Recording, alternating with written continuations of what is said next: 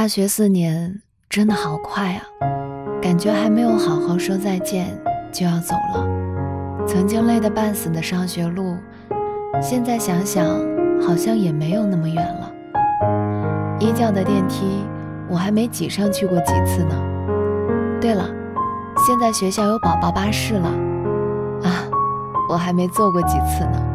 如果说大学生最怕的是什么，我想应该是体测吧。这片跑了四年的操场，如今也要说再见了。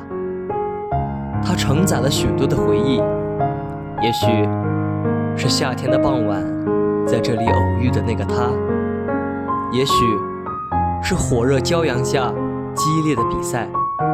好想再去喝一杯一食堂的玫瑰冰豆浆，真的超级超级好喝。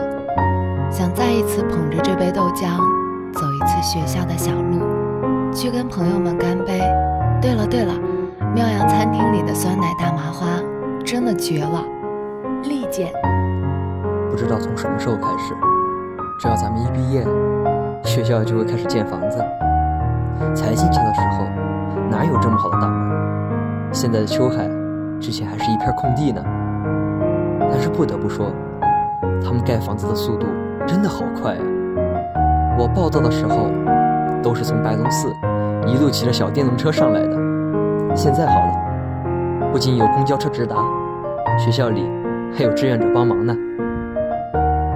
下次记得替我向一食堂的大胡子叔叔说声谢谢，他每次给我的菜都是最多的。这一次我该回去了，后会有期啦。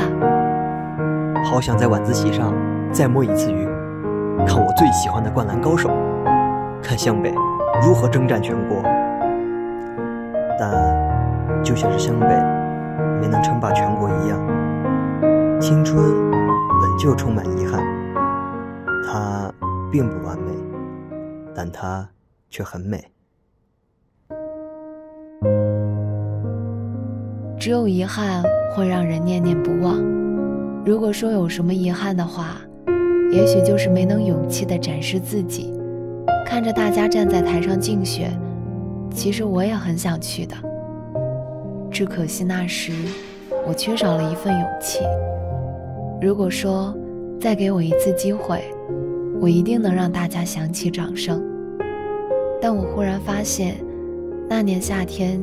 已经是很久远的事情了，机会并没有再次来临。在这漫长的开始与结束中，有些事发生了就成为过去，有些事情未完成始终梗在心头。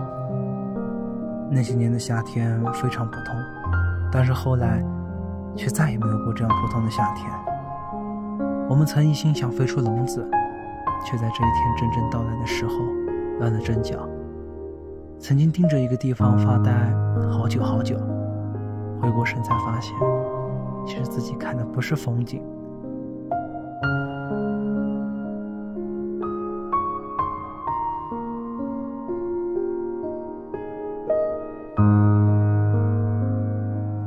我后悔没能早点对那位姑娘说，我喜欢你。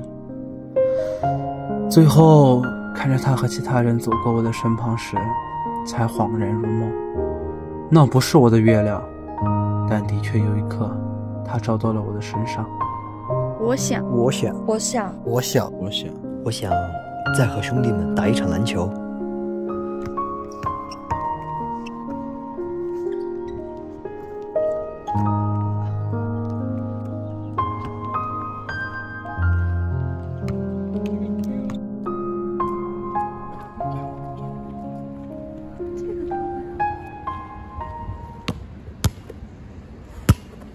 么样，兄弟们？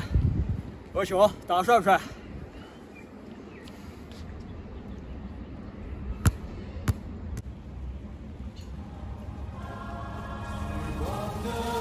哎，大球，怎么还不走？以后常联系啊，后会有期。大球，以后记得照顾好自己，没事打电话。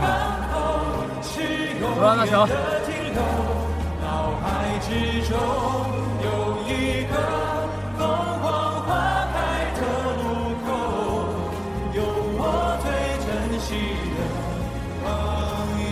这一次，让我再好好看看你们的模样。